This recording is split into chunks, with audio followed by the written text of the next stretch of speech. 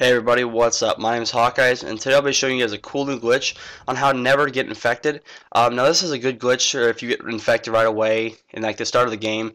And um, what's going to happen is if you if you back out and you're infected, and you try to join back, it'll recognize you and it'll say that you're infected again. It won't even give you a gun or anything. But what this glitch is going to do is it's going to um, let you join back once you're infected, uh, so you are a survivor.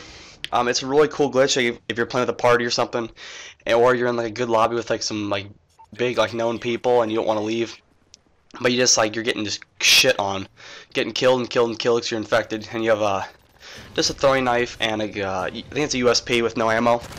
But anyway I'll show you guys how to do it. So what you do is just get infected and then leave the game. And what you want to do is you want to go down to call sign and just change your uh, clan tag to whatever you want. Um, I would just say just add like a letter or something like I do in the video. Just as long as it's not the same clan tag then you want to go to your recent players and join back. And um, there you go. I mean, you you won't be uh, you won't be infected. You'll have a gun. You can shoot the infected people. Um, but that's about it, guys. I mean, it's a really easy glitch to do, easy, simple glitch. And anyone is gonna like whine and say it's gonna ruin infected. It's not, because half the time you can't join back. So yeah, guys, that's all. My name's Hawkeye. If you've enjoyed this video, please click like and subscribe, and I'm out. Peace.